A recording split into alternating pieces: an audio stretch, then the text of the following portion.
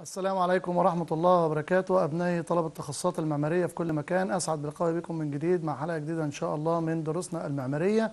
واللي النهاردة إن شاء الله بإذن الله هنتكلم فيها عن مراجعة عامة بنتناول فيها طبعا جميع حلقات آه، اللي ذكرناها على مدار العام ولكن بشكل مراجع أو في شكل مراجعة عامة. ودي حابين نأكد أو ننوه إن الحلقة دي خاصة بأبنائي الطلبة اللي ما تمش أو ما كتبش لهم التوفيق في الدور الأول. يبقى الحلقة دي خاصة بأبنائي اللي لهم دور تاني في مادة حساب الإنشاءات.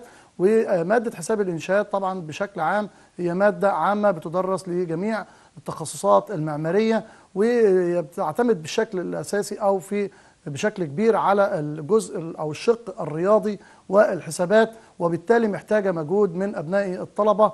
وأحبائي اللي طبعا بنكن لهم كل احترام وتقدير وبندعو لهم يا رب دايما التوفيق والسداد والنجاح. في العملية التعليمية ومن كتب له عدم التوفيق في الدور الأول. بندعو له العلي القدير يوفق إن شاء الله. إذا تابع معانا وكان ملم بدروس وعناصر المراجعة اللي هتتم النهاردة بإذن الله بإذن الله بنضمن له عملية التوفيق والنجاح.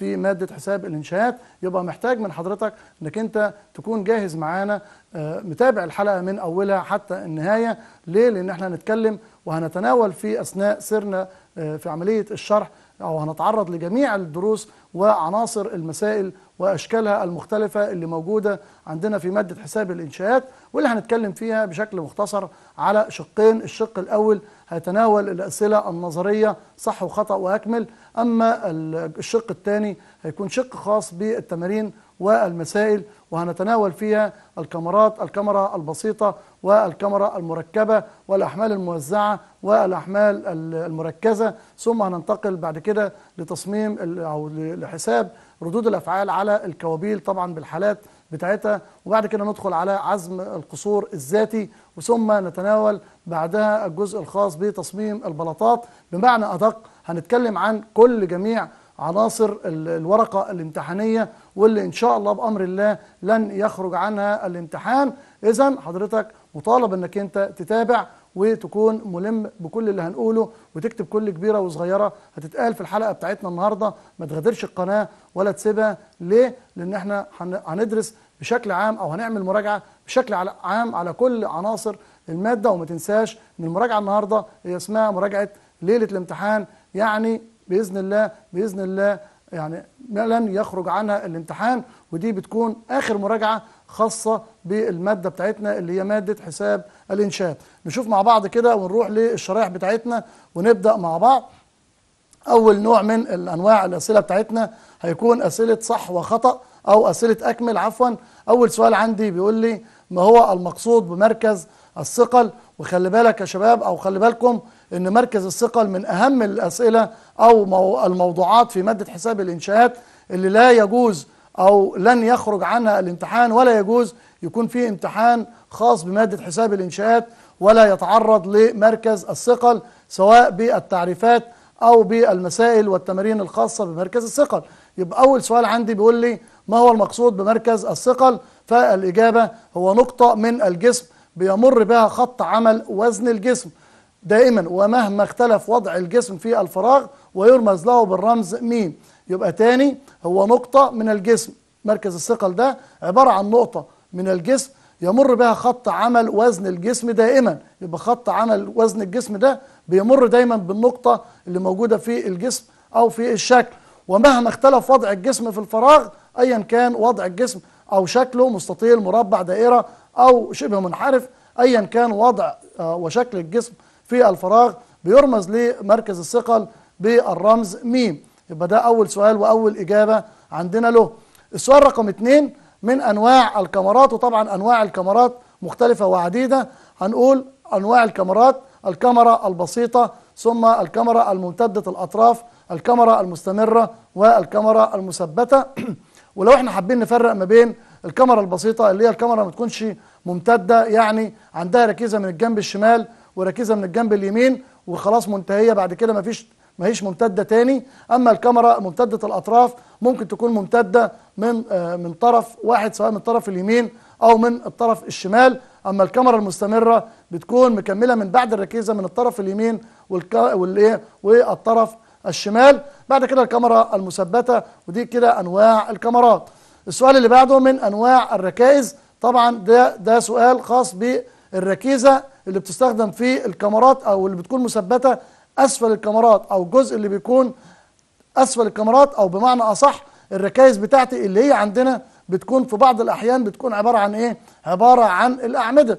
طيب الركائز دي عبارة عن إيه؟ في ركيزة حرة وركيزة مفصلية وركيزة ثابتة. يبقى من أنواع الركائز ثلاثة أو أنواع الركائز ثلاثة. الركيزة الحرة والركيزة المفصلية والركيزة الثابتة وطبعا كل واحد من الثلاثه له رسمة آه كروكي بتوضح الشكل بتاعه ومرينا بيها وشفناها قبل كده. لكن انت في السؤال بتاعي مش مطلوب انك انت ترسم ولكن المطلوب انك انت تذكر. يبقى بيقول لك اذكر انواع الركائز فهتقول ركيزة حرة ومفصلية وثابتة. يبقى كده ده السؤال رقم ثلاثة بالإجابة بتاعته في الأسئلة النظرية بتاعتي. وأول نوع من الأسئلة اللي هي أسئلة أكمل. طيب نشوف النقطة اللي بعدها. بيقول لي هنا برضو بتعرض في السؤال ده لمركز الثقل وده جايب سؤال عن مركز الثقل. مركز ثقل صفيحة رقيقة منتظمة على شكل مثلث.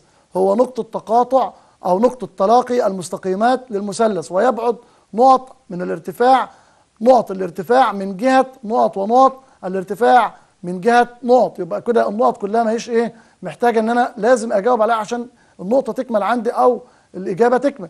يبقى تاني نقولها بقى بشكل كامل يبقى مركز ثقل صفيحة رقيقة منتظم على شكل مثلث أو بمعنى أصح مركز ثقل المثلث هو نقطة تلاقي المستقيمات ويبعد تلت الارتفاع اللي هو ثلث الارتفاع ويبعد ثلث الارتفاع من جهة الإيه؟ القاعدة وثلثي الارتفاع من جهة الرأس. يبقى تمام كده؟ يبقى التلت بيكون التلت أو مركز الثقل في المثلث بيبعد التلت من جهة الإيه؟ من جهة القا... ال... ال... الارتفاع من جهة القاعدة تلت الارتفاع من جهة القاعدة وثلثي الارتفاع من جهة الإيه؟ الرأس. يبقى ده مركز الثقل للشكل اللي هو عبارة عن مثلث. طب النقطة اللي بعدها بيقول لي يعرف عزم الانحناء بأنه عزم الانحناء ده بيستخدم فيها شباب أو بيتعرض له في إيه؟ بيتعرض له في أسئلة الكاميرات بأنواعها والكوابيل سواء بقى موزعة بانتظام أو مركزة أو مركبة. كده كده بيطلب مني عزم الإنحناء بعد حساب رد الفعل ومنحنى قوى الايه القصر يبقى السؤال هنا بيقول لي عرف الإنحناء أو عزم الإنحناء فالإجابة بتاعته هو مجموع عزوم القوى المؤثرة من جهة واحدة طبعا سواء من اليمين أو اليسار عند أي نقطة من الكاميرا وينتج عنها إنحناء للكاميرا. طيب يا شباب بنأكد على الجزئية دي. ونقول إن عزم الانحناء بيحدث إيه عزم الانحناء؟ عزم الانحناء هو نتيجة لحمل الحمل ده بيكون في أحد أطراف الإيه؟ الكاميرا أو في اتجاه واحد إما من الجنب اليمين أو من الجنب الشمال. طب العزم الانحناء ده إيه بينتج عنه إيه للكاميرا؟ إيه اللي بيحدث للكاميرا؟ بيحدث عنده ممكن دوران أو انحناء للكاميرا. لو أنا تخيل لو أنا بضغط ده عند الكاميرا وبضغط هنا بحمل معين الحمل ده بيعمل عزم للانحناء العزم ده بيكون عبارة عن إيه؟ عبارة عن دوران أو بيحدث انحناء مفاجئ للكاميرا بتاعتي وده بيكون من اتجاه واحد سواء من الاتجاه اليمين أو من الاتجاه الشمال. وطبعا أنا بحسب عزم الانحناء بناء على إيه؟ بناء على حساب رد الفعل. يعني إيه تاني يا شباب؟ يعني مش هتقدر توصل لرد الفعل آه آسف عزم الانحناء إلا لما تكون قدرت توصل لرد الفعل سواء كان عند الركيزة اليمين أو الركيزة الشمال. وبالتالي انت مطالب انك انت تحسب رد الفعل الأول في الكاميرات عشان تقدر بعد كده تحسب عزم الانحناء. ليه؟ لأن كل لكل فعل رد فعل مساوي له في المقدار ومضاد له في الاتجاه. إذا كان عزم الانحناء ده مش هيكون له فعل مضاد أو رد فعل مضاد له هينتج عنه انحناء في الكاميرا الخرسانية وبالتالي هيحدث عندي مشاكل كبيرة في المبنى بتاعي. اذا يبقى أنت مطالب إن لكل فعل رد فعل. طب أنا هجيب رد الفعل ده منين؟ إذا كان الفعل عبارة عن الأحمال اللي موجودة على الكاميرات يبقى رد الفعل اللي هو بحسبه سواء بالقوانين بتاعته زي ما هنشوف في التمارين اللي جاية كمان شوية سواء كانت الكاميرا كاميرا بسيطة أو كاميرا محملة بأحمال موزعة بانتظام ده له طريقة وده له طريقة سواء الكاميرا كاميرا متماثلة أو كاميرا غير متماثلة. عشان أقدر بعد كده أحسب عزم الإيه؟ عزم الانحناء. نرجع للسلايد بتاعنا تاني ونكمل. يبقى خلاص أنا عرفت كده عزم الانحناء هو عبارة عن إيه؟ عبارة عن مجموع عزوم القوى المؤثرة وطبعا بتكون من جهة واحدة إما من الجهة اليمين أو جهة اليسار عند أي نقطة من الكاميرا وبينتج عنها انحناء أو دي النتيجة بتاعتها إن هيحصل عنده انحناء في الإيه؟ في الكاميرا. ده المشكلة اللي بتنتج من عزم الإيه؟ عزم الانحناء. نشوف النقطة اللي بعدها أو السؤال اللي بعده. مركز ثقل حلقة دائرية طبعا بيكون إيه؟ مركزها الهندسي. لو أنا عندي شكل دائري طب أنا قلت طبعا الأشكال بتختلف في الفراغ ايا كان الشكل بتاعي بيكون له مركز ثقل مركز ثقل ده عبارة عن نقطة موجودة في الشكل بتاعي. طبعا ايا ما كان شكله دائري أو مربع أو آه، مستطيل له مركز إيه؟ ثقل. أما لو كان بقى هنا الحالات بتاعته بنتناولها إذا كان مثلث طبعا اتكلمنا عليه من شوية إذا كان دائري أو نشوف الوضع الثاني أو الشكل الثاني إذا كان شكل دائري بيكون مركز الثقل بتاعه في مركزها الهندسي. تمام كده؟ السؤال اللي بعده إذا كان ناتج قسمة خلي بالك بقى عشان ده خاص بتصميم البلاطات إذا كان ناتج قسمة طول البلاطة على عرضها أصغر من أو يساوي اتنين يعني الناتج هنا أصغر من الاتنين أو يساوي اتنين يطلق عليها بلاطة ذات طبعا اتجاه واحد. بينما إذا كان الناتج أكبر من اتنين بيطلق عليها بلاطة ذات اتجاهين. يبقى البلاطة ذات الاتجاهين اللي بيكون فيها آسف إحنا طبعا آه، آه، عملنا الإجابة بالعكس. إذا كان الناتج أصغر من اثنين بيكون البلاطة ذات اتجاهين. إذا كان أكبر من اثنين بيطلق عليها بلاطة ذات اتجاه واحد. وده طبعا هنشوفه في تصميم البلاطات في التمارين اللي جاية في الشرايح إن شاء الله. كمان شوية زي ما هنشوف مع بعض. يبقى إذا كان الناتج أصغر من اثنين أو يساوي اثنين بنقول إن البلاطة ذات اتجاهين. أما إذا كان الناتج أكبر من اثنين بيطلق عليها بلاطة ذات اتجاه واحد. وده طبعا واضح قدامكم السؤال والإجابة بتاعته عشان لو حد من أبنائي بيسجل ورايا عشان بعد كده يعمل عملية مراجعة.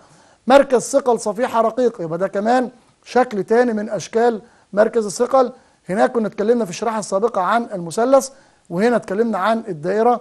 هنا في السؤال بتاعنا بيتكلم عن متوازي الأضلاع. طب حضرتك يا مستر مركز على على مركز الثقل ليه؟ زي ما قلت لك إن مركز الثقل من أهم التمارين أو الموضوعات في مادة حساب الإنشاءات التي لن يخرج عنها الامتحان. لابد أن أي امتحان يتعرض لمركز الثقل وطبعا مركز الثقل له شقين سواء الجزء النظري أو جزء التمارين. زي ما هنشوف كمان شوية واللي إحنا شغالين فيه حاليا طبعا بنتناول آه، نقاط في وسط النقاط بتاعتنا الخاصة بمادة حساب الإنشاءات في آه، فيما يخص مركز الثقل. هنا بنتكلم على شكل متوازي الأضلاع أو معين أو مستطيل أو مربع بيكون مركز الثقل بتاعه هو نقطة تقاطع القطرين. يبقى نقطة تقاطع القطرين هي عبارة في عبارة عن مركز الثقل للأشكال الهندسية المتوازي سواء كانت متوازي أضلاع أو معين أو مستطيل أو مربع. يبقى الأشكال المنتظمة بتاعتي بشكل عام مركز الثقل بتاعها هو نقطة تقاطع القطرين. نشوف الجزء اللي بعده. هنا أسئلة تانية طبعا أو نوع تاني من الأسئلة أسئلة صح وخطأ. بيقول لي هنا في النقطة الأولى إذا كان ناتج قسمة ارتفاع العمود وده خاص بتصميم الأعمدة يا شباب عشان تكون عارف إن إحنا هنا ألمينا بكل الأسئلة وكل التمارين اللي متوقعة أو اللي موجودة عندي في المادة بتاعتنا بداية بعزم القصور الذاتي ومرورا بأنواع الكاميرات والأحمال وصولا لتصميم البلاطات والأعمدة وتصميم الأعمدة زي ما إحنا شايفين عندنا كده دلوقتي ثم بعد كده تسليح الكاميرات والبلاطات. ففي السؤال ده بيقول إذا كان ناتج قسمة ارتفاع العمود على أصغر ضلع فيه يبقى أنا هنا هقسم ارتفاع العمود على أصغر ضلع فيه. أقل من 15 يكون العمود إيه؟ قصيرا يبقى الإجابة هنا إجابة صحيحة. السؤال اللي بعده يعني إيه تاني نوضحها؟ يعني أنا لو بقسم ارتفاع العمود عشان أحسب حاجة يا شباب اسمها نسبة النحافة. طيب نوضح نسبة النحافة. نسبة النحافة في الأعمدة مطلوبة مني عشان أقدر بناء عليها أحدد نوع العمليات الحسابية اللي هتتم على العمود اللي أنا بحسب له آه، أو بأجري له عملية التصميم عشان أقدر بعد كده أقول العمود ده محتاج إنه يسلح بقد كده من الحديد. وطبعا قد كده قطاعه الخرساني عبارة عن كام في كام. ده كله ده بيتم بناء على إيه؟ بناء على قانون. القانون ده في البداية خالص اسمه قانون نسبة النحافة. إذا كان ارتفاع العمود بقسم ارتفاع العمود على أصغر ضلع من أضلاع العمود طبعا هو بيكون مديك طول العمود وعرضه ولازم نفرق طبعا ما بين الطول والعرض والارتفاع. ارتفاع العمود معروف أما الطول هو الجنب الطويل من العمود والعرض الجنب الايه القصير من العمود. لو أنا عندي عمود ارتفاعه 5 متر فكده عرفت إن الارتفاع 5 متر طوله أو أبعاده بيقول لك قطاع العمود عبارة عن 30 في 25 40 في 20 هنا الطول هيكون 40 والعرض هيكون 20 يبقى أنا كده بقسم ارتفاع العمود على أصغر خلي بالك أصغر ضلع فيه أصغر ضلع فيه اللي هو 20 طب 20 كده يا مستر يعني ينفع إن أنا أقسم ال 5 متر على 20 من 100 كده هيبقى طبعا أنا سامع حد من أبناء الطلبة اللي هو كويس في مادة الرياضيات وبيجري العمليات ال- والمعادلات الرياضية بيقول لا يا مستر ما ينفعش. ليه؟ للاختلاف طبعا لأن هنا بالارتفاع بالمتر أما آه، الطول أو العرض بتاع أصغر ضلع في العمود عبارة عن 20 من 100 بالسنتيمتر فما ينفعش إن أنا أقسم متر على سنتي اذا أنت طبعا هنعمل إيه يا مستر؟ إما هنحول المتر إلى سنتي أو سنتي إلى متر والأسهل والأيسر إن أنا طبعا بحول المتر إلى سنتي ليه؟ لأن أنا عندي ضلعين بالسنتي اللي هو الطول والعرض يبقى أنا أخلي الارتفاع بالسنتي يبقى الخمسة متر هيكون كام؟ 500 أقسمه على 20 إذا طلع 20 طبعا مش 20 من 100 لأن كده بتكلم بالسنتيمتر. يبقى خمس ده وطبعا ده أغلب أبنائي بيقع فيه إنه بيقسم المتر على السنتي ويطلع الناتج. طبعا بيكون الناتج عنده ناتج خطأ وبالتالي باقي المسألة بتكون عنده المحصلة في الآخر بتطلع بصفر. طيب أعمل إيه؟ يبقى أنا كده يا شباب أخلي بالي وأركز وأشوف هو في السؤال مديني ارتفاع العمود ده بالمتر ولا بالسنتي؟ والابعاد بتاعتي اللي هي الطول والعرض للعمود قطاع العمود بالمتر أو بالسنتي. ليه؟ عشان لما اقسم ارتفاع العمود على اصغر ضلع فيه الناتج اللي هيطلع لو هو اصغر من 15 يبقى كده العمود قصير. هياخد طبعا مسار معين في القوانين بتاعته الخاصة بحساب الايه؟ بحساب آه ألف س اللي هو قطاع التسليح بتاعي أو ألف خ اللي هو قطاع الايه؟ قطاع الخرسانة الخاص بالعمود بتصميم العمود. طيب إذا كان أكبر من 15 طبعا بياخد قانون تاني واتجاه تاني في حسابات عملية التصميم الخاصة بالأعمدة. يبقى تاني بعمل عملية اسمها في بداية تصميم الأعمدة اسمها نسبة النحافة. نسبة النحافة بتساوي إيه يا مستر؟ بتساوي ارتفاع العمود على أصغر ضلع فيه. طب ارتفاع العمود ده لازم يكون بإيه؟ لازم يكون إما بالمتر يبقى أصغر ضلع يكون بالمتر أو لو أنا هشتغل بالسنتي في ارتفاع العمود يبقى أحوله بالسنتي ويكون برضه قطاع العمود عندي بالسنتي. يبقى طوله في عرضه بالسنتيمتر وارتفاعه بالسنتيمتر أو لو أنا هشتغل بالمتر يبقى ارتفاعه بالمتر والطول والعرض بالإيه؟ بالمتر. ده للتأكيد وللتوضيح لأبناء الطلبة عشان أثناء عملية الإيه؟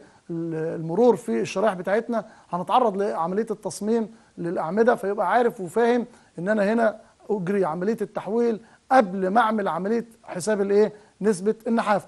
نبص كده على الشرا- على الشرائح بتاعتنا ونكمل. السؤال رقم اتنين بيقول هنا يوضع حديد التسليح الرئيسي في الكاميرا البسيطة لأسفل لأن منطقة الضغط طبعا بتكون فين؟ لأسفل. ده الإجابة إجابة خاطئة ليه يا شباب لأن هنا الحديد الرئيسي في الكاميرات وبنسميه سفلي. الحديد ده بيتحط في الكاميرا في أسفل الكاميرا بيطلق عليه الحديد الرئيسي. ليه؟ عشان ده الحديد عموما بشكل عام بيقاوم الشد أما الخرسانة بتقاوم الضغط جهد الضغط. اذا الإجابة هنا إجابة خاطئة. يبقى التعديل بتاعها أو الصح بتاعها بقول يوضع حديد التسليح الرئيسي في الكاميرا البسيطة لأسفل لحد كده صح لأن منطقة إيه بقى؟ المفروض أقول منطقة الشد بتكون في الكاميرا. ليه؟ لأسفل لأن أنت لو أنت عندك كاميرا ومحمل عليها بحمل طبيعي اللي هيحدث لو أنا ما عنديش حاجة بتقاوم الكاميرا يحدث فيها انحناء. الانحناء ده بيكون ليه؟ لأسفل. اذا نقطة الضعف اللي موجودة عندك بتكون فين؟ في أسفل الكاميرا الخرسانية وبالتالي الحديد الرئيسي بتاعك اللي هيقاوم عملية الانحناء ده لازم يكون موجود في أسفل الكاميرا. يبقى الحديد الرئيسي بنسميه سفلي بيكون موجود فين؟ في أسفل الكاميرا. أما الحديد العلوي في الكاميرات هو حديد ثانوي آه ملوش يعني زي ما بنقول كده آه دوره الرئيسي إن هو بيتربط في السفلي والحديد اللي بيبقى موجود في الم- المنتصف ارتفاع الكاميرا واللي بيطلق عليه مكرب أو مكسح ده اللي بيكون موجود في أسفل الإيه؟ في منتصف الكاميرا وبيتغير على حسب منطقة الشد. طيب نشوف النقطة اللي بعدها. يقدر الحمل الموزع. خلي بالك هنا بيتكلم على الحمل الموزع اللي بيبقى موجود على الكاميرات وهنا لازم نفرق ما بين ثلاث أنواع يا شباب من الأحمال. يبقى أثناء كده مرورنا زي ما إحنا شغالين وأنا بتكلم في صح وخطأ الجزئية اللي محتاجه سبوت بنلقي عليها الضوء. هنا لازم أفرق ما بين ثلاث أنواع من الأحمال. هو هنا في التساؤل بتاعنا أو في السؤال بتاعنا بيقول لي أنواع أو هنا بيقول يقدر الحمل الموزع بالمتر الطولي ليه؟ هنا اتكلم عن الحمل الموزع. الحمل الموزع بيكون حمل ماسك بداية الكاميرا لنهايتها أو جزء أو قطاع من الكاميرا ومن اسمه موزع. باين إن هو هيكون موزع وبالتالي بتحسب بالمتر الإيه؟ بالمتر الطولي يبقى الإجابة هنا إجابة صحيحة. ده فيما يخص النقطة أو التساؤل بتاعنا اللي إحنا بصدده دلوقتي. أما الفرق بقى أو العكس بتاعه الحمل المركز ومن اسمه برضه باين وواضح ليه الحمل المركز. الحمل المركز بيكون تركيزه في نقطة معينة من مناطق الكاميرا وتأثيره بيكون تأثير إيه يا شباب؟ تأثير مباشر في الجزء اللي بيقع عليه. يعني لو أنا عندي لو هنشبه إن أنا عندي الكاميرا بتاعتي اللي هي دي موجودة وده حمل الحمل ده حمل مركز في نقطة معينة إذا تركيزه بيكون في نقطة الإيه؟ في نقطة الحمل نفسه. بيكون أكتر جزء متضرر في الكاميرا هي نقطة تركيز الإيه؟ الحمل. وبالتالي التسليح بتاعي أو الشغل بتاعي كله والإجهادات بتكون في النقطة دي وخاصة جهد الإيه؟ جهد الشد. أما لو كان حمل موزع الحمل الموزع بيكون أشبه كده بالظبط. شوف أنا قلبت قلبت القلم إزاي؟ بيكون موزع على قطاع من الكاميرا. ممكن يشمل الكاميرا بالكامل أو جزء من الكاميرا ولكن ما بيكونش جزء إيه؟ ما بيكونش حمل مركب طب إيه النوع الثالث يا مستر؟ النوع الثالث بيكون حمل بنطلق عليه الحمل المركب. يبقى أنواع الأحمال ثلاث حمل مركز حمل موزع والحمل المركب. إيه هو الحمل المركب؟ الحمل المركب بيكون عندي على الكاميرا حمل موزع على قطاع من الكاميرا سواء بداية الكاميرا لنهايتها بشكل كامل أو في قطاع من الكاميرا جزء من الكاميرا. وكمان فوق الحمل الموزع ده بيكون عليه حمل إيه؟ حمل مركز. هنا بنسميه الحمل ده أو مجموعة الأحمال على بعضها اسمها أحمال مركبة. يبقى الحمل المركب عبارة عن حمل موزع وحمل إيه؟ مركز. طبعا الحمل الفرق ما بين الثلاث أحمال إحنا وضحناه وفي التساؤل بتاعنا في الحمل الموزع بتحسب الحمل بتاعنا أو ناتج الحمل بتاعنا بالطن أو بالمتر الإيه؟ بالمتر آسف الطولي. ليه الطولي؟ لأنه على قطاع من الكاميرا.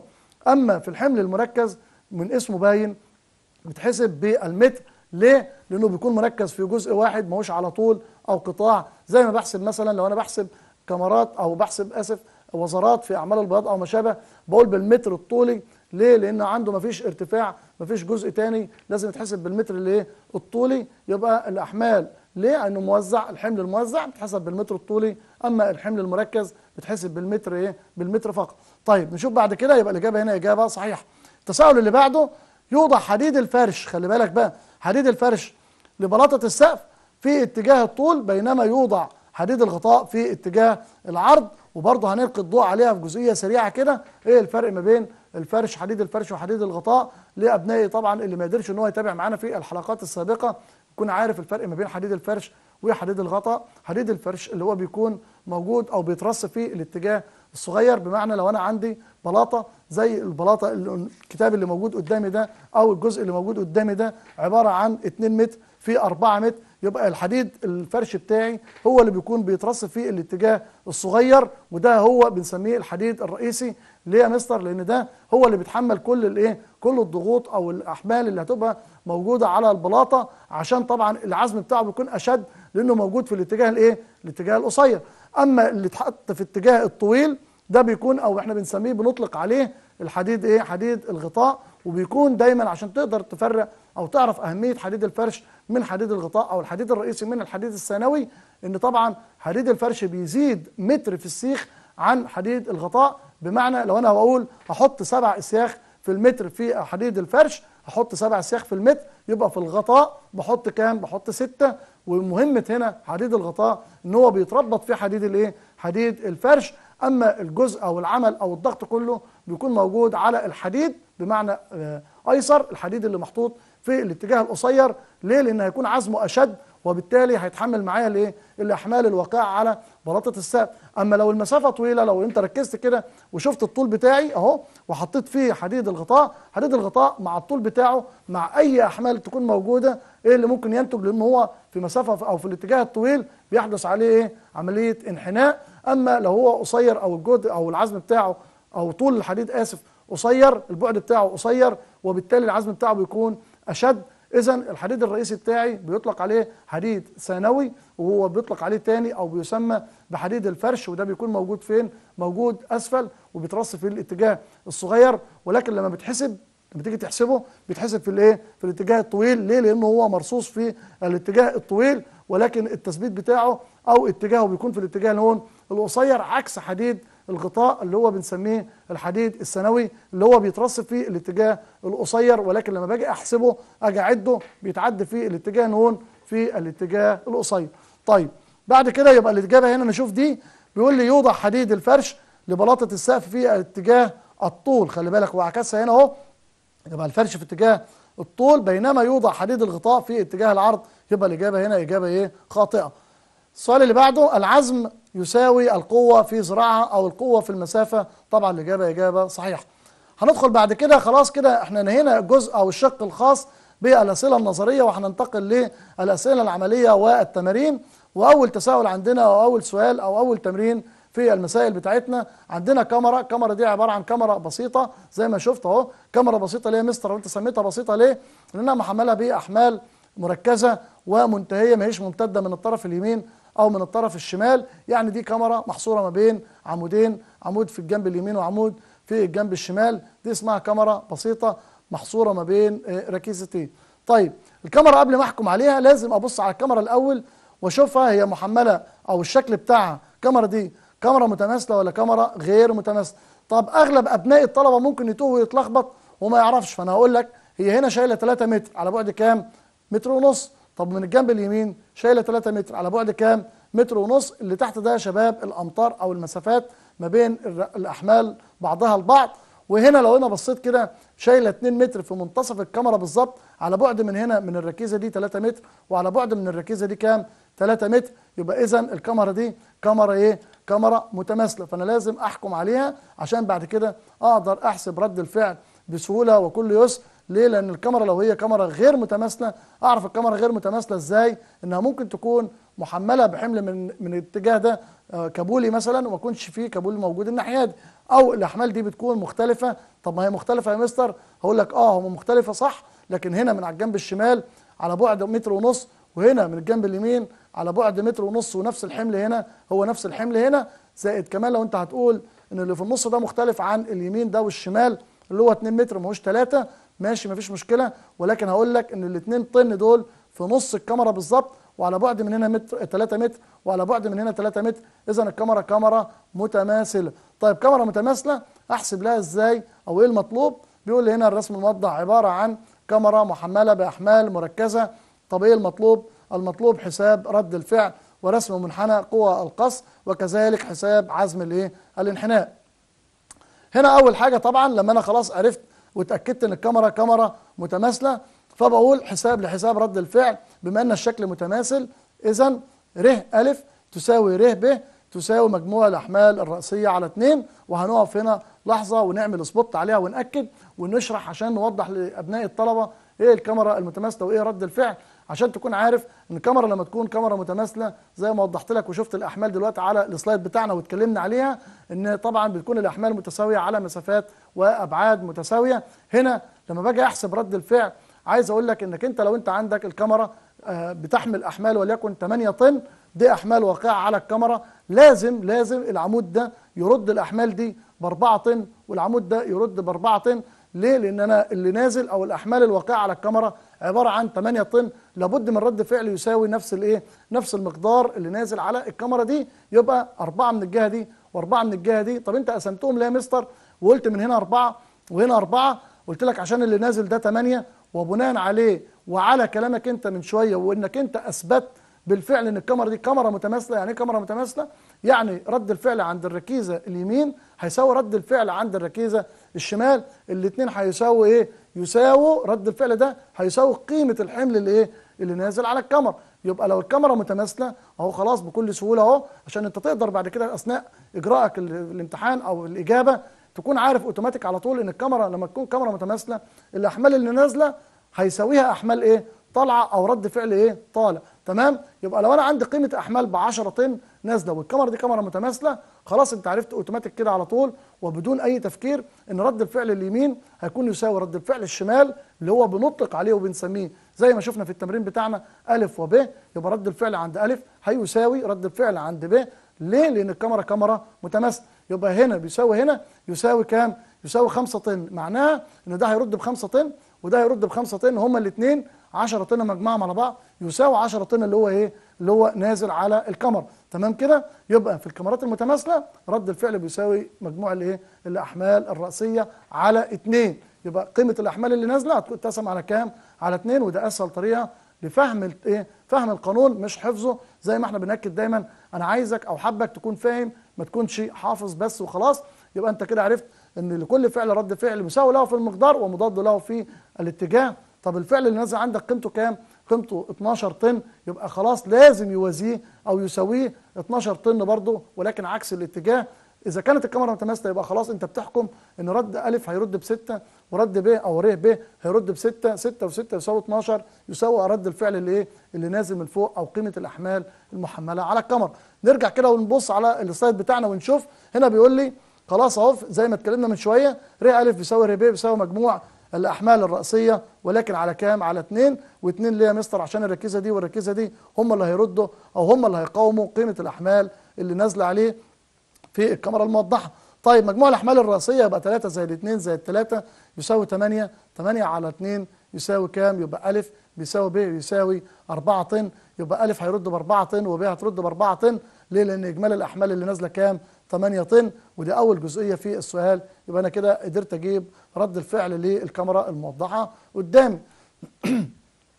طب نشوف الجزء اللي بعده. الجزء اللي بعده بيتكلم عن رسم منحنى قوى القصد وأنا دايما بقول لابنائي الطلبة في المدرسة عندي بقول له بكل سهولة ويسر أنت بتكتب رد الفعل هنا أربعة ورد الفعل هنا أربعة الناتج اللي أنت طلعته وناتج الأحمال طبعا مكتوب عليها من فوق أو قيمة الأحمال مسجلة والأبعاد موجودة. باخد مسافة على أي بعد من الكاميرا نفسها زي الخط الرأسي ده بسميه س س وببدأ من الجنب الشمال دايما أقول لهم كده ابدأ من الجنب الشمال وبص على السهم بتاعك وشوف اتجاهه فين. لو بصيت كده هلاقي السهم بتاعي فين؟ لفوق. طب قيمته كام يا مستر؟ قيمته أربعة. يبقى أطلع لفوق أطلع أربعة. وأفضل ماشي كده خط ماشي خط لحد ما أبص وطبعا وأنا ماشي عيني على الأسهم اللي موجودة فوق اللي هي قيمة الأحمال. أنت طلعت أربعة من الجنب الشمال بعدين مشيت آه مشيت في اتجاه الجنب الآخر أو الركيزة اليمين قابلتك قابلك الحمل ده قيمته 3 طن يبقى أنت كنت طالع أربعة هتنزل 3 هيتفضل عندك كام هنا؟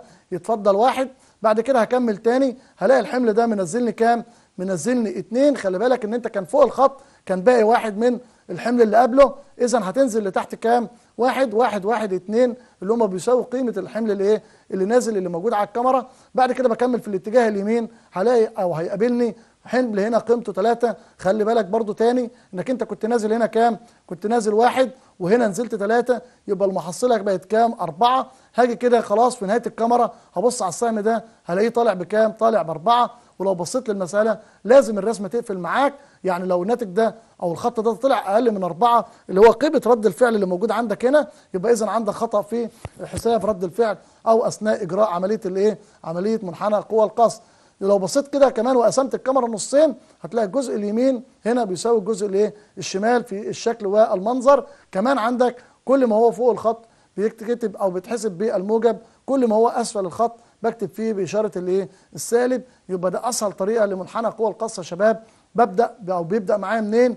بيبدأ معاك من بعد ما تحسب رد الفعل باجي راسم الخط على مسافة معينة من الكاميرا وببدا من الاتجاه الشمال وأبسط حاجة وأيسر حاجة إن أنا أبص على الأسهم بتاعتي وأشوف رؤوس الأسهم إما لفوق أو لتحت. لو هو لفوق هطلع معاه لو هو الأسفل كده زي الشكل اللي قدامي ده هنزل معاه. لو بصيت كده هنا طالع أربعة مشيت في اتجاه الركيزة الثانية ده نازل ثلاثة نزلت ثلاثة كان هنا أربعة اتبقى واحد.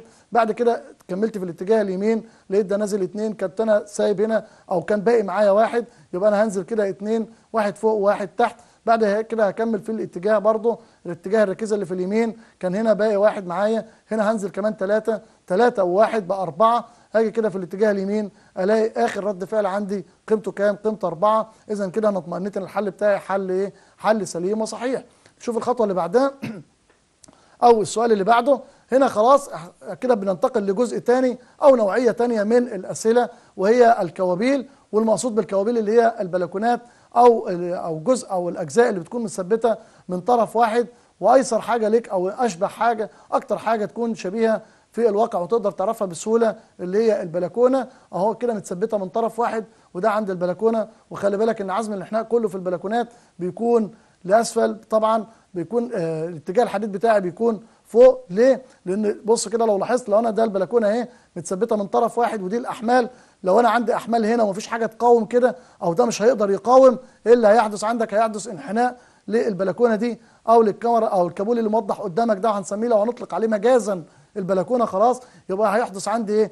انحناء. اذا أنت لازمك حديد أو لازمك تسليح يقاوم عملية الانحناء ده عشان البلكونة دي تفضل أو تقدر تقاوم معاك. وبالتالي عزم الانحناء عندك كله بيكون بالإيه؟ هنا بيترسم كله في السالب وبيكون لفوق يعني الحديد الرئيسي بتاعك كله في البلكونة عشان أنت حتى لو لاحظت في أثناء عملية التصميم وخاصة في حديد التسليح بيستخدم حديد بيسميه شوكة بيجي الحديد طبعا بيكون مربوط عندك كده في البلاطة من ورا ويجي كده قدام وبعدين يقوم تانيه وعامله كده شوكة ويقوم مرجعه تاني ويقوم عامل له الجنش بتاعه. لو انت لاحظت إن كده عمل طبقتين إيه؟ طبقتين حديد زي الملسان زي ممكن نطلق عليه أو بيسمى في تسليح الأسقف بالفلات سلاب ولكن ده تصميم البلكونات بيكون عبارة عن شوك السيخ بيجي ممتد من ورا خلاص من الباكية دي وبيطلع وبعد كده بيكون اتجاهه لفوق يلف وبعد كده ياخد الجنش بتاعه ليه لف السيخ لفوق؟ لأن أنت عندك أو أنت درست في مادة حساب الإنشاءات إن عزم الانحناء أو أكبر قوة أو جهد انحناء بيكون موجود عندك فين؟ في البلكونة بيكون في الجزء الأعلى.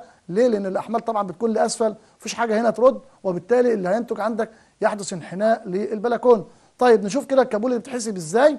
هنا بيقول لي احسب رد الفعل الرأسي وارسم منحنى قوى القص الموضح طبعا للكابول ده شكل المسألة بيكون بالشكل الموضح قدامي ده.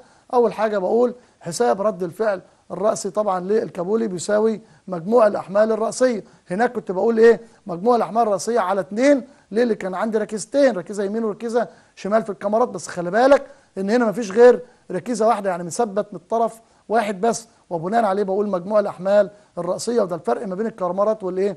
والكوابيل يبقى ر ب اللي هو رد الفعل عند نقطة التثبيت اللي هي ب ده اهي بتساوي هناك كنت بقول لك إيه؟ طبعا مجموع الأحمال الرئيسية على 2 ولكل فعل رد فعل مساوي له في المقدار ومضاد له في الاتجاه. هنا حابب اكد لك إن قيمة الأحمال اللي نازلة دي لازم يساويها رد فعل عند نقطة التثبيت. رد فعل يعني بقد قيمة الأحمال اللي إيه؟ اللي نازلة عند نقطة التثبيت لازم يساويها. طب قيمة الأحمال دي كام؟ مجموع الأحمال الرئيسية لو أنا بصيت ر ا بتساوي 1 زائد 1 ونص يساوي 2 ونص. يبقى أنت بتقول لي يا مستر إن أنا الاحمال اللي نازلة دي قيمتها أو إجماليها 2 ونص لازم النقطة دي هترد برضو بقيمة كام؟ بقيمة 2 ونص عشان يفضل عندك الايه الكابولي كابولي ثابت كده أو الكاميرا لو إحنا بنسميها مجازا تفضل ثابتة عندك طيب ثانيا رسم قوى الإيه؟ القص. برضو يا مستر هتقول لنا من الشمال أيوه هقول لك هنبدأ من الجنب الشمال وهرسم الخط زي ما عملت هناك بالظبط في الكاميرا الخط اللي هو س س أو منحنى قوى القص ده أهو هو الخط الأفقي على بعد من الكابولي بتاعي. وبروح من الجنب الشمال وبعتبر طبعا نقطة التثبيت دي رد فعل عكس اللي نازل. يبقى اتجاهها هيكون فين يا شباب؟ اتجاهها الأعلى. طب قيمته كام؟ قيمته اتنين ونص. أقوم طالع من هنا اتنين ونص كده لفوق. وبعدين أمشي في اتجاه الحمل. طبعا زي ما كنت بعمل هناك في الكاميرات هلاقي ده نازل كام؟ نازل واحد ونص. كان عندي أنا كنت طالع من هنا اتنين ونص خلي بالك. نزلت منه واحد ونص هنا أهو. وأمشي كده في الاتجاه ده. ده هينزل كام؟ واحد عشان يقفل معايا الاتنين ونص. وكده يبقى الكابولي قفل معايا في منحنى قوى القص يبقى اذا أنا نفذت الخطوة دي خطوة إيه؟ خطوة سليمة. بعد كده خطوة ثانية عندي اسمها عزم الانحناء. إزاي أحسب عزم الانحناء للكابولي الموضح في الرسم بتاعي؟ بقول عزم الانحناء عين ألف يساوي صفر، عين ألف ده اللي هو عند الطرف الحر وطبعا يا شباب إحنا حابين نأكد على جزئية إن عزم الانحناء عبارة عن إيه؟ زي ما أنا شفت قبل كده في الأسئلة النظرية ما هو انت لازم توظف برضو الجزء النظري في الاسئله العملية بتاعتك والتمارين فطبعا ما تحفظهاش هناك في الجزء النظري. ولما تجيلك في تمرين زي كده ما تقدرش تكون فاهم أو تكون عارف وبالتالي وبناء عليه في التمرين بتاعنا أنا مرتبط وبقول لك بقانون القانون ده بيقول لك إن العزم بيساوي القوة في المسافة أو القوة في ذراعها تمام كده؟ طيب القوة في المسافة لو أنت لاحظت إن أنا عندي ده الطرف أو الكابولي أو الكاميرا آسف الكابولي أو البلكونة اللي أنا شغال عليها وعندي هنا حمل عند الطرف الحر. ده الطرف المثبت وده الطرف الحر. طب الطرف الحر ده لما أجي احسب هنا رد الفعل أو عزم الانحناء عبارة عن قوة انت قلت يا مستر قوة في مسافة. خلي بالك انت بتحسب عند النقطة دي اللي هنسميها وليكن ألف وعليها قيمة حمل. عشان ده أغلب برضه أبناء الطلبة للأسف بيقع فيه وما بيعرفش يفرق ما بين عزم الانحناء عند الأطراف أو في منتصف الكاميرات والكوابيل فليه يا مستر بصفر؟ أنا أقول لك بصفر ليه عند نقطة ألف دي؟ لأنه طبعا محتاج قوة في مسافة. لكن أنت ما عندكش مسافة. أنت عندك قوة والمسافة عندك هتكون كام؟ صفر. وبالتالي يبقى عزم الانحناء عند الطرف الحر لأن أنت عندك في الكم في الكوابيل طرف حر إيه؟ واحد. لكن في الكاميرات ممكن يكون عندك إيه؟ طرفين. الطرفين دول اللي هو عند الركايز بصفر تمام كده؟ لكن أنت هنا عندك إيه؟ عندك طرف واحد حر اللي هو ألف. عندك آه حمل أو قوة موجودة مفيش مشكلة. لكن المسافة بصفر. يبقى مهما كانت قيمة الحمل أما هتضربها في صفر هيطلع بصفر. اذا رد أو عزم الانحناء عند الطرف الحر في الكابولي اللي هو هنا بيسميه ألف يساوي صفر. طيب نكمل كده مع بعض ونشوف الجزء الثاني. يبقى عزم الانحناء عند ألف يساوي صفر. طيب النقطة اللي بعدها عند نقطة ج دي هاخد عزم الانحناء عند نقطة ج يساوي خلي بالك بقى أنا قلت لك إن الإشارة كلها هتبقى بالسالب. ليه؟ لأن الانحناء كله لفوق. وطبعا قيمة الحمل ده إيه؟ نازل. أو إحنا بنسميه دايما أو بقول لأبناء الطلبة السهم اللي تحت ده يبقى نازل. أي حمل إشارته أو اتجاهه نازل لأسفل يبقى هتكون إشارته بالإيه؟ بالسالب. أما الطالع أو الصاعد ده عند نقطة التثبيت هتبقى بالإيه؟ بالموجب. نشوف مع بعض كده. يبقى أنا بقول سالب واحد. بص خلي بالك أهو وننفذ اللي أنا قلته من شوية. قيمته كام؟ واحد. في مسافته كام؟ أنا بحسب عند ج دي. يبقى قيمته واحد. في مسافته واحد يبقى بس الإشارة هنا لا تختلف معايا بقى وأنا محتاج أركز عليها. يبقى أنا بقول سالب واحد في المسافة واحد يطلع الناتج بواحد طن زي ما أنا شفت كده يبقى عزم الانحناء عند نقطة ج اللي هي النقطة ده اهي بيساوي سالب واحد اللي هو ده في المسافة بتاعته عند نقطة ج اللي أنت بتقول عليها إن أنت واقف عندها سالب واحد في واحد يطلع الناتج بسالب واحد. طيب بعد كده هروح أجيب عند النقطة دي يبقى أنا خلي بالك بجيب هنا طلع بصفر أجيب هنا طلع بسالب واحد بعد كده هجيب عند الجزئية دي وأشوفها بتحسب إزاي. أنا بقف هنا عند النقطة اللي هي ج آه آسف ب وباخد كل قيمة حمل في المسافة بتاعته لحد نقطة ب اللي أنا واقف عندها فلو بصيت هنا عزم الانحناء يساوي سالب واحد اللي هو ده في المسافة بقى مش بس مش في واحد بقى المرة دي في اتنين. ليه؟ لأنك أنت بتحسب عند ب وما تنساش العملية دي. يبقى سالب واحد في اتنين بسالب كام؟ بسالب اتنين. ثم بعد كده سالب واحد ونص برضه في المسافة دي اللي هي واحد. يبقى سالب واحد في اتنين.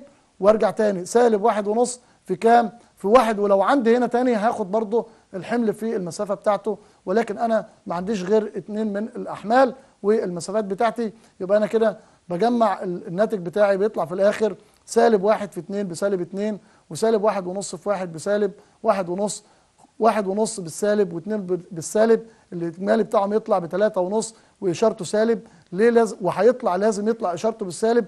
إذا طلع معاك في الكوابيل بالموجب يبقى أنت حليت خطأ أو جمعت غلط. ليه؟ لأن أنا قلت لك بالسالب معناه إن الحديد بتاعك كله هيترسم أو هيتسلح فوق في الجزء اللي فوق الجزء العلوي من الكابولي وبالتالي أعلى الخط التسليح بتاعك كله هيكون أعلى الايه أعلى الخط. طيب أجي بقى بعد كده أرسم الشكل بتاعي بتاع عزم الانحناء طبعا هنا بصفر وعند نقطة ج بطلع كام؟ أطلع واحد. زي ما قلت لك الناتج بتاعك كله أو الرسم بتاعك هيكون أعلى الخط هنا واحد. وعند نقطة التثبيت بثلاثة ونص. وحابب اكد لك أو أنوه على جزئية يا شباب إن عزم هنا الرسم بيكون هنا عكس عكس عزم الانحناء. يعني في قوى القص الموجب فوق والسالب بيترسم تحت. أما في عزم الانحناء السالب بيترسم فوق الخط والموجب بيترسم تحت الخط. وإن كان في الكوابيل مفيش عندك حاجة اسمها أسفل الخط. يبقى كله اللي هيترسم أوتوماتيك وتكون عارف ودي قاعدة ثابتة إن كل الرسم في عزم الانحناء هيكون أعلى الخط والناتج بتاعه في عزم الانحناء كله لازم يطلع بالإيه؟ بالسالب. يبقى كده إحنا اتكلمنا عن حساب رد الفعل ومنحنى قوى القص ورسم منحنى عزم الإنحناء للكاميرات والكوابيل شوف بعد كده جزء تاني هنا كابولي ولكن بشكل تاني كابولي محمل بأحمال موزعة بانتظام. يعني إيه؟ أنا اتكلمت في أنواع الأحمال من شوية وقلت لك الحمل الموزع اللي هو بيكون على قطاع من الكاميرا أو الكابولي أو ممكن يكون ماسك جزء منها من بدايته لنهايته أو جزء بس خاص قطاع من الكابولي. لو بصيت كده الحمل بتاعنا حمل موزع ماسك الإيه؟ ماسك الكابولي كله من بدايته لحد إيه؟ لحد نهايته ممتد عليه. ده ده حمل بنقول عليه حمل موزع بانتظام. طيب نشوف هنا بيقول لك إيه؟ احسب رد الفعل وارسم منحنى قوى القص ومنحنى عزم الانحناء للشكل الإيه؟ الموضح. طب لحساب رد الفعل وهنا لازم أعمل إيه يا شباب؟ لازم أول خطوة بنجري عملية اسمها عملية تركيز الحمل الموزع. تركيز الحمل الموزع إيه ده يا شباب؟ أو بيتعمل إزاي؟ ونأكد عليه طبعا ونوضحه عشان برضه نكون عارف إن بداية الخطوات في الحل بتاعنا نعمل عليها سبوت كده ونكون عارفين إن بداية الحل في الخطوات الخاصة بحساب الأحمال الموزعة بانتظام بعمل لها عملية اسمها عملية تركيز الحمل الموزع. إيه تركيز الحمل الموزع؟ الحمل الموزع معروف إن هو على قطاع أو بادئ من بداية الكابولي حتى نهايته. بركز الحمل ده في جزئية معينة عشان بعد كده أقدر أجري له عملية الإيه؟ حساب رد الفعل. طب بعملها إزاي ده يا مستر؟ بجيب قيمته خلي بالك بقى قيمة الحمل الموزع ده وإن كان 2 متر مثلا بضربه في مسافة الحمل الموزع. يعني في المسافة اللي موجود فيها الحمل الموزع طب ما ممكن يا مستر يكون على طول الكاميرا خلاص ما فيش مشكلة. يبقى قيمة الحمل الموزع لو هو 2 طن على مسافة الكاميرا اللي هي 4 بضرب قيمته في مسافته وخليك فاكر الكلمة ده كويس بضرب قيمة الحمل في مسافته اللي هي 2 في المسافة وليكن 4 بيطلع الناتج مثلا ب 8 ال 8 ده أنا عملت له عملية تركيز للحمل الموزع. اذا هيكون خليته بدل ما هو حمل موزع هيكون مركز.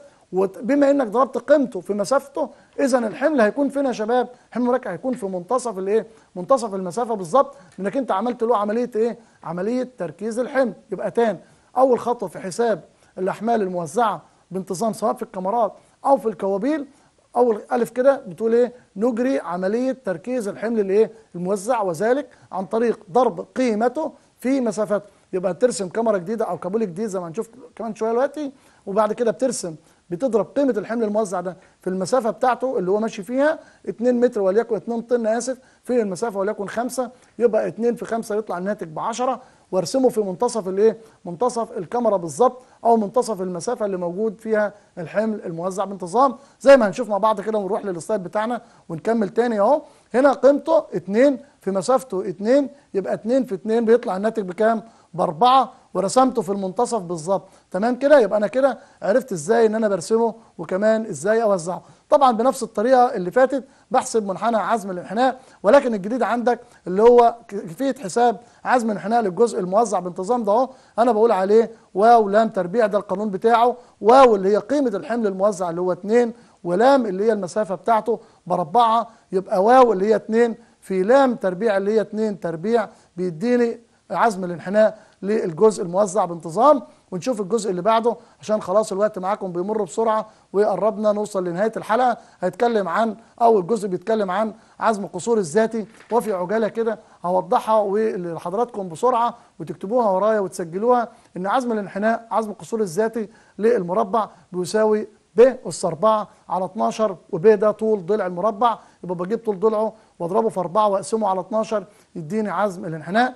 أما إن كان الشكل مستطيل بيساوي عزم القصور الذاتي س س حول محور س س للمستطيل بيساوي ب د تربيع آه، تكعيب على 12 ده إذا كان طبعا الشكل إيه؟ مستطيل ب اللي هو العرض وده اللي هو الارتفاع بتاعي بتاع المستطيل يبقى ب د تكعيب على 12 ده س س أما صاد صاد للمستطيل بيكون العكس بتاعي فبيكون د ب تكعيب على 12 ده كده خاص بالمستطيل. في المثلث ملوش طبعا صاد صاد بحسب س س فبقول أو بقول كده عزم القصور الذاتي للمثلث يساوي س س تساوي صاد صاد يساوي ب د تكعيب زي ما قلت هناك في المستطيل ولكن على 36 طبعا اتفقنا إن هو ملوش صاد صاد وبناء عليه هيكون طبعا خاص بالمثلث ب د تكعيب على 36 بيختلف عن المستطيل إن ده على 12 وده على 36 أما الجزء اللي بعد كده في الكاميرات والجزء اللي هيجي بعد كده بعد حساب عزم القصور الذاتي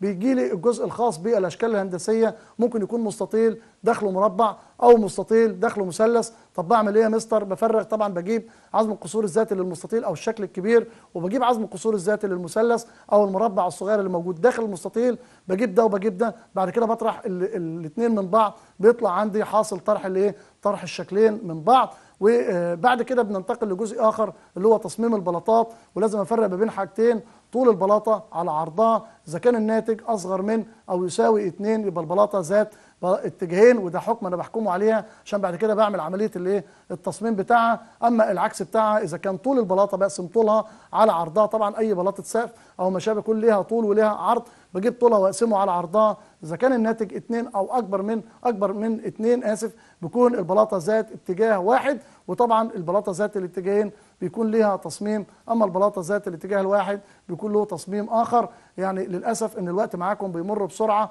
إن شاء الله بإذن الله بندعو العلي القدير. لكم التوفيق والسداد. دمتم في أمان الله. والسلام عليكم ورحمة الله وبركاته.